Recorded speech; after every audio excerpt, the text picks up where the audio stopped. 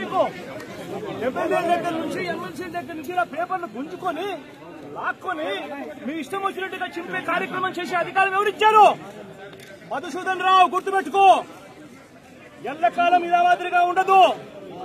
ప్రజాస్వామ్యంలో ఉన్నాం మనం నీ మీ టోపీ మీద ఉన్న సింహాలకు అర్థమేమిటో తెలుసా? అధికారంలో ఉన్న వాళ్ళకు సెల్యూట్ కొట్టడం కాదు. ప్రజాస్వామ్యాన్ని కాపాడడం కోసం మీరున్నారు. గుర్తుపెట్టుకోండి.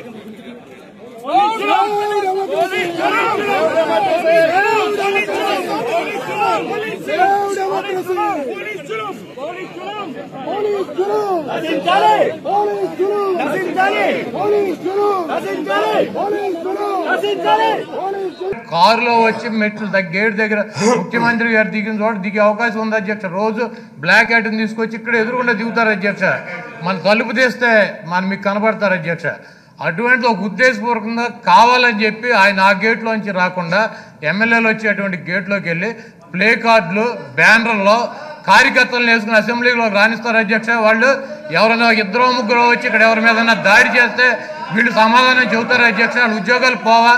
కాబట్టి ఇంత అనుభవం ఉన్నటువంటి వ్యక్తి ఇటువంటి బుద్ధి లేని పనులు చేస్తా రామనాయుడు దగ్గర నుంచి ఎమ్మెల్సీ దగ్గర నుంచి పేపర్లు గుంజుకొని లాక్కొని మీ ఇష్టం వచ్చినట్టుగా చింపే కార్యక్రమం చేసే అధికారం ఎవరిచ్చారు మధుసూదన్ రావు గుర్తుపెట్టుకో.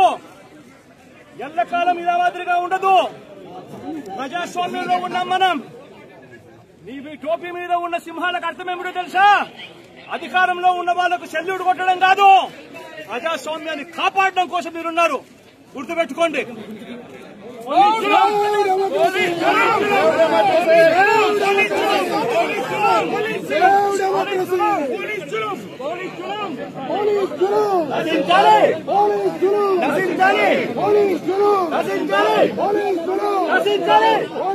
కారులో వచ్చి మెట్లు గేట్ దగ్గర ముఖ్యమంత్రి గారు దిగిన చోట దిగే అవకాశం ఉంది అధ్యక్ష. రోజు బ్లాక్ హ్యాట్ని తీసుకొచ్చి ఇక్కడ ఎదురుకుండా దిగుతారు అధ్యక్ష.